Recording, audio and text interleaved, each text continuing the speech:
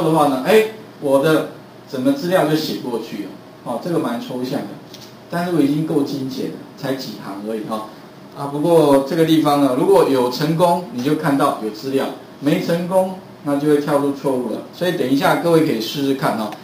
好，那我们来试试看，就是说，哎，我我这个地方要怎么来使用它？你们贴上来之后的话哈，接下来呢，在记录的地方，记录的地方，啊，打开记录，对不对？再写一个程式，就是 call，哦，呼叫什么呢？呼叫刚刚的那一个叫什么呢？叫做利用 ADO，呃，利用 ADO 新增资料，它的名称就在这个上面，这个名称，哦，所以你就 call，然后分别放 A、B、C、D 三个资料，三个资料分别就是这，啊不，跟着样，应该五个资料，这五个资料分别就是对应到五个栏位的资料。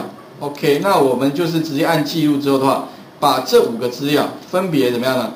就加在后面，call，然后给他一个什么呢？副程式五个资料，这样的话呢，我就可以怎么样？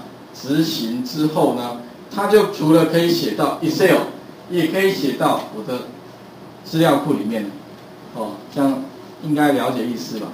只是哈，接下来就是要做，而且要看到才算成功。哦，那接下来我们来看一下，第一个，我把刚刚的那个我的资料库哦，这个部分房贷资料库嘛？现在只有一笔，对不对？先把它关闭一下，然后呢，我把它放到哪里呢？把它放到我的这个范例里面，我把这个什么丢到我的这个范例里面，哦，然后里面有一个把它取代掉了。那这个时候呢，这边就有个 DB one，那我的 我的 Excel 在这 Excel 档案在这里面，所以放在同样一个路径底下。接下来的话的话，我们来乱乱看好了，这边已经写好了。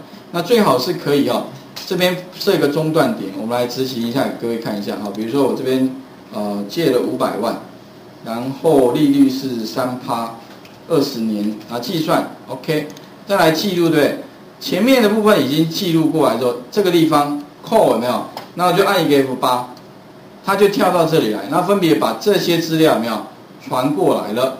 那传过来之后的话呢，我们来看一下执行。啊，如果你这边有错误的，这个地方有跳出错误啊，表示你没有引用哈，所以特别重要，一定要设定引用项目。